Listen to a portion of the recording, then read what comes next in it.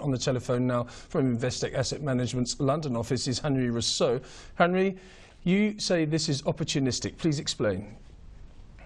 Absolutely, Lindsay. I, think the, the offer from, from Sibanye came at a time when we see significant depressed uh, platinum price, platinum now trading at levels not seen since the, the big financial crisis we had back in 2008, 2009. Um, and it certainly seems quite opportunistic to come in now at this depressed platinum price environment where we also see uh, probably the biggest premium uh, between the gold and the platinum price we've seen for a long time, $200. Um, Aquarius, now under offer, and um, it, seems that Sibanye is trying to get the first deal. Mm. It is, of course, geographically, um, it, geographically it makes sense because it's near the Anglo uh, operations that they're looking to take over Sibanye uh, that in. So it, it, that is, it makes sense from that point of view and synergy uh, point of view. But I, I, think from your point of view, what you're saying is that Aquarius Platinum, having spoken to you before, Aquarius Platinum is the operation that will probably benefit the most from any uh, sort of upsurge in the platinum price in both dollars and rands. Is that correct? That's right, Lindsay. I think the, uh, that's certainly for us a key part of our Aquarius investment. But I think more so also the fact that um, you've got to give some credit to CEO Jean Nel.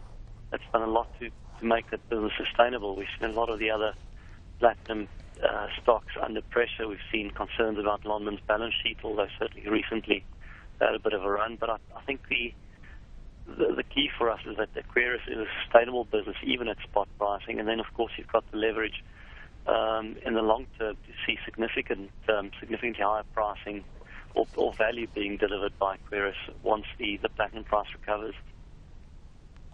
Yeah, in a statement you say the following, and I'm quoting you here. It says uh, they'll get the assets for almost nothing, while the premium paid for the synergies and cash that they'll get from the deal. Um, so what you're saying is opportunistic, which we said at the beginning.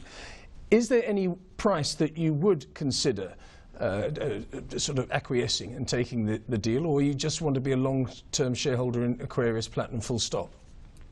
I, I, think, uh, Lindsay, we certainly we certainly want to be want to be uh, fully um, see some full value for uh, for Aquarius being paid. I, I, think you've got to look at certainly other options as well. If there's a cash offer, you could certainly buy other platinum stocks in the sector as well. But um, the discount we see in Aquarius is not you don't find similar discounts in any of the other platinum stocks. Um, so we'd, we'd have to consider the platinum price, the, um, the comparative um, stocks at the point that the offer comes to close. We still need to see Competition Commission approvals um, as well, and I suspect that we will see the platinum price recover also over the next six months. So that, that could make it very difficult for Sibanye to close the deal under the current offer. We've, yeah. we've seen now an offer of 266, and, and um, less than a year ago, the, the, share, share traded at 366, so still well below where um, the, the, stock traded over the last year. Um, and that, that was a, a, platinum price, not not dramatically, but um, higher than, than what we're seeing at the moment. So we, we could actually see the whole sector re-rate and, and make this bid um, significantly um, out money.